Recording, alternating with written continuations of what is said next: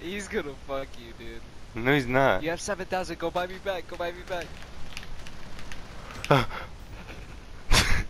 Where was he? Let's call it a night. What? I don't know.